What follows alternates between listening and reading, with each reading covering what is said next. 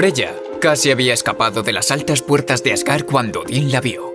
Ella le rogó que simplemente la dejara marchar y que dejara libre a su gente, pero cualquier simpatía que Odín pudiera haber tenido alguna vez había desaparecido hace mucho tiempo como su cordura. En cambio, el rey de los Aesir la persiguió con un encantamiento Seider.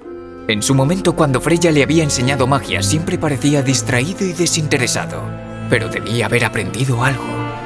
A Odín se le ocurrió un hechizo especialmente creativo y cruel.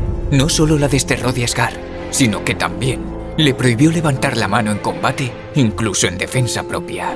Freya tartamudeó tratando de contrarrestar con un hechizo propio, pero ahora, en lugar de lanzar magia, estaba sufriendo sus efectos retorcidos. Se sentía cansada y torpe. Mientras su visión se nublaba, tropezó y luego todo se volvió negro. Cuando despertó, Freya se encontraba lejos de Odín, pero más distraída que nunca. Ahora, la guerra seguramente volvería.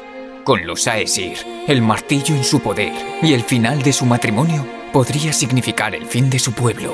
Su única esperanza era que con el tiempo, algún alma valiente terminaría lo que ella no podría, restaurando así el equilibrio y la paz en los reinos.